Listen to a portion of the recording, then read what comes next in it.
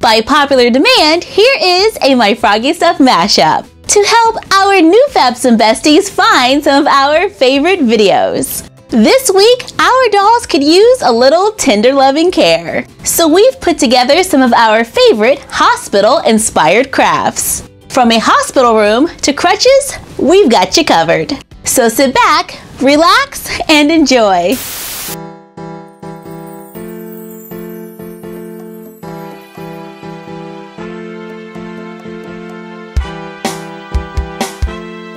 Going to make a coat for a doll using fabric, buttons, a needle and thread, or a sewing machine.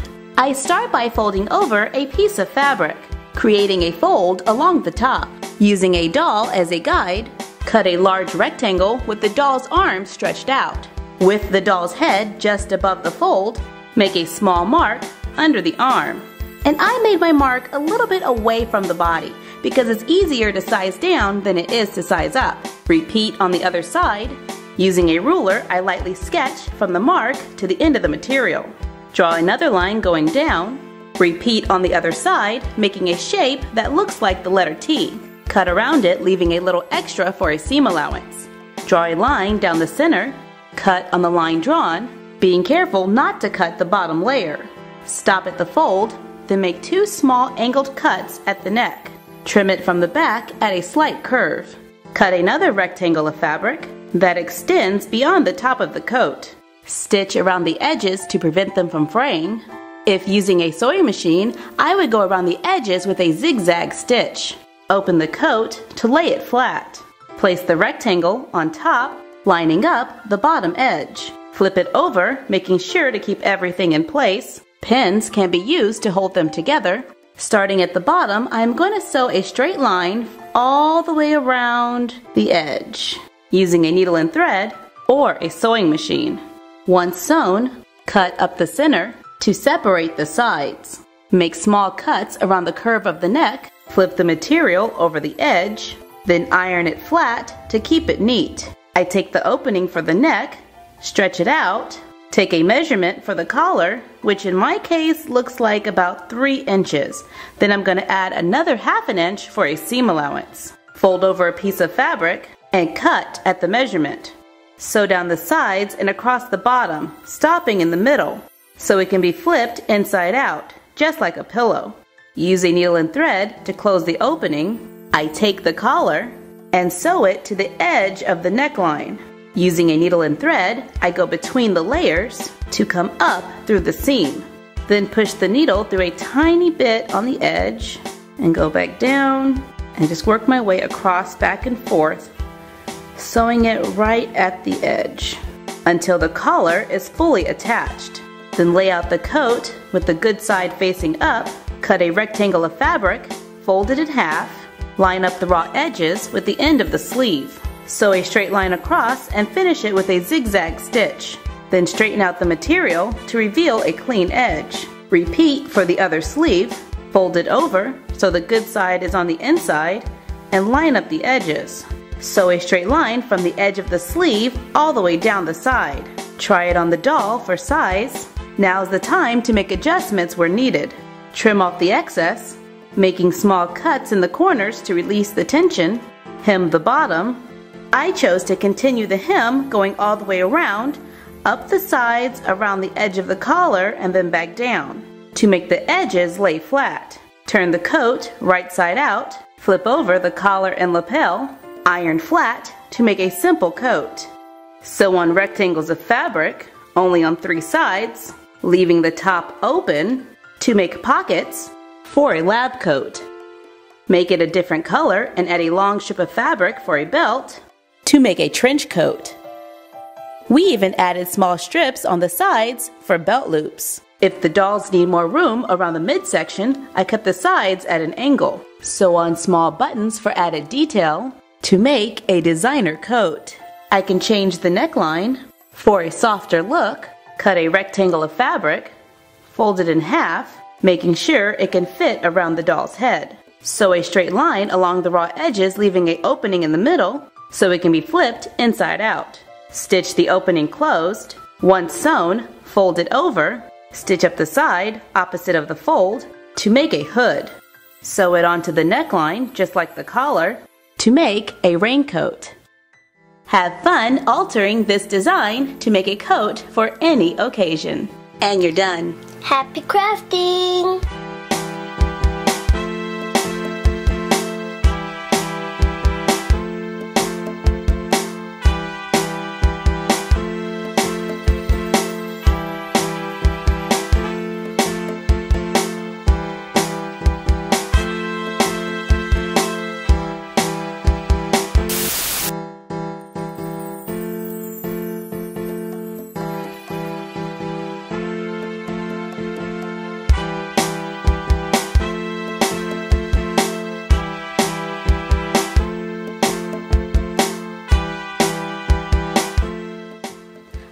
I'm going to combine some ideas from our doll crutches video and our doll wheelchair video to make a new doll wheelchair using paper tubes, old CDs and DVDs, glue, hot glue, buttons, scrapbook paper and beads, craft foam, computer paper, toothpicks, and felt.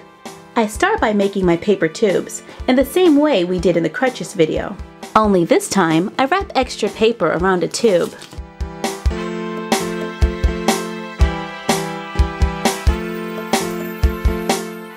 Until it is as thick as the hole in a CD. Using my doll as a guide, on a plain sheet of paper, I begin to trace or draw out a design for the side of the wheelchair. In my design, this is where the seat will be, and this is the very bottom of the wheelchair. Here is the back, this is the armrest, and these are some supports to add to the structure of the chair. I begin cutting and bending the tubes to fit my design. Once all of the pieces have been cut, I begin gluing them together. Repeat until you have two. Begin cutting five more paper tubes that are wider than the width of your doll to glue the two sides together. By gluing three under the seat and two to the back. I cut my large paper tube slightly larger than my chair and I glue it into the bottom corner. For my large wheelchair, I used about five CDs for each wheel. I begin gluing the CDs and DVDs together. I cut a long strip of craft foam and glued it around the edge.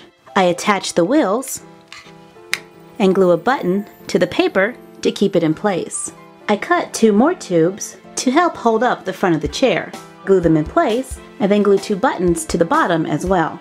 So now it appears as if our wheelchair has four wheels. I apply glue to a piece of paper Fold it over and crease it flat. Apply more glue and repeat. I continued until the whole paper was folded, curled one end around a pencil, used glue to hold it in place, cut off a small portion, and I slid it onto the bottom of my chair to be the footrest. I added small strips of scrapbook paper for some added detail, I glue beads to the ends of my paper tubes, cut a piece of felt that can fit inside the chair with a little extra, cut four more strips of felt. I glue them to the sides of the felt, place the felt in the chair, and glue the tabs around the paper tubes on the sides, glue the top and bottom. I cut two pieces of thick craft foam. I round off one of the corners, bend the end, Glue it on to the armrest. I wrap a small piece of foam around the handles and you're done. Happy crafting!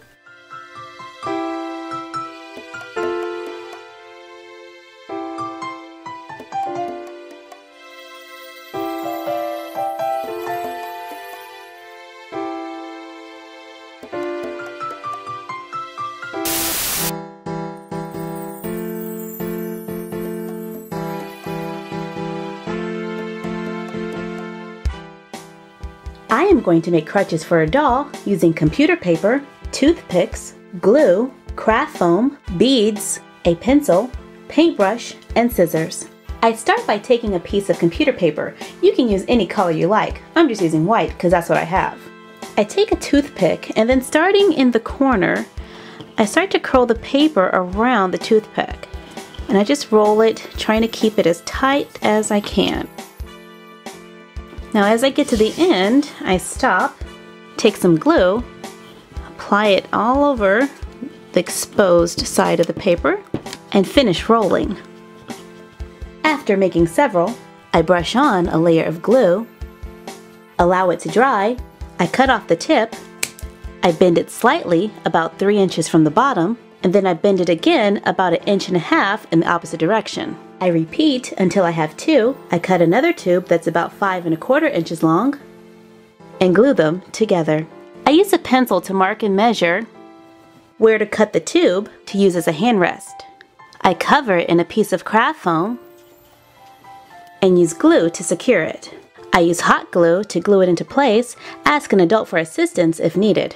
I cut another piece for the top, glue it into place, cut another tube that's slightly longer, cover it with foam just as before, but this time I cut small circles to glue onto the ends. I glue it to the top, I glue a small strip of foam to the bottom, I glue another circle of foam to the bottom, use beads to cover the ends, for a smaller doll, like a 10 to 12 inch, I cut the paper in half, and then roll just as before. The crutches can be custom fit for almost any size doll. I like to stop this middle pole here at right about the knee and the handrest at the hip. And I cut off the top so that it hits right underneath the arm. And you're done.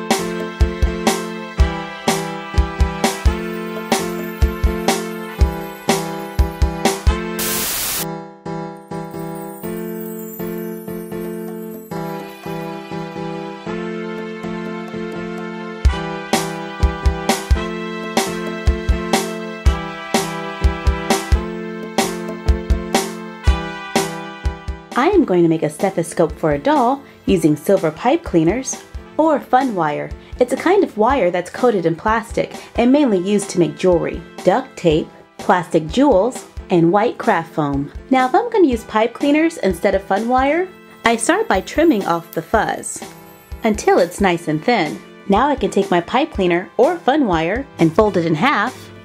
I cut a piece of duct tape Leaving a space at the top, I wrap the duct tape around the wire. I wrap another piece over the lower end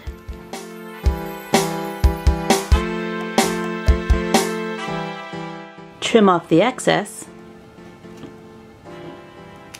With good side to good side, glue a small plastic jewel onto a large one, glue it to the end of the wire, curl the ends, Cut small pieces of craft foam, glue it to the ends, and you're done. Happy crafting!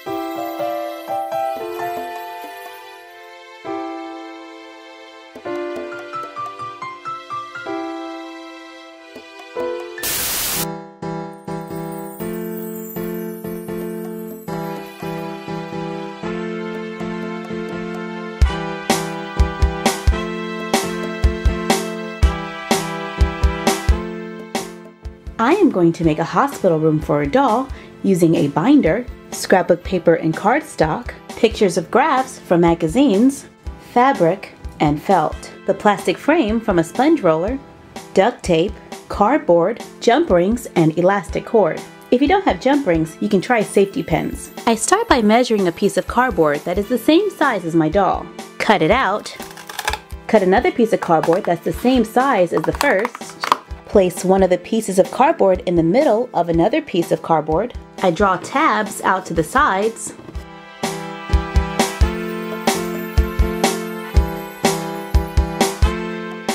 Cut it out. Fold the tabs in on the lines drawn. I cover the front of one of the pieces of cardboard with felt.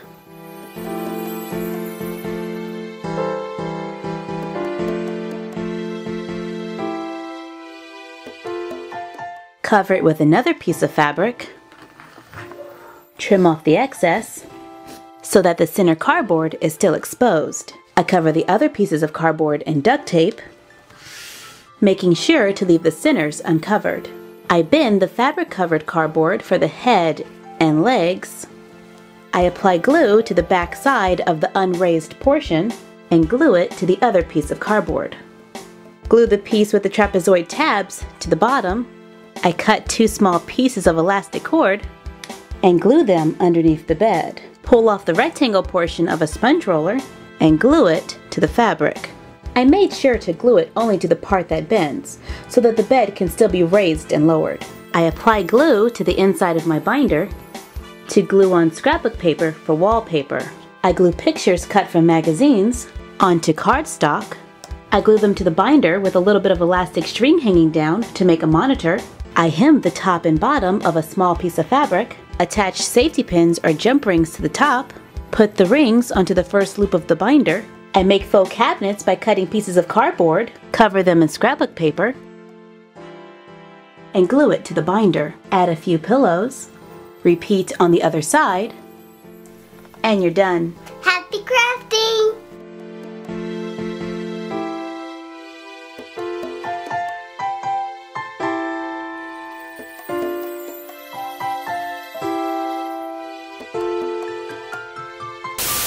For joining us for this My Froggy Stuff mashup. Let us know what mashups you would like to see in the comments down below. Like, comment, share, and subscribe. Ring the bell so you are notified when we upload new videos every day. Follow us on Instagram at My Froggy Stuff and the Frog Vlog, and we will see you next time. Bye!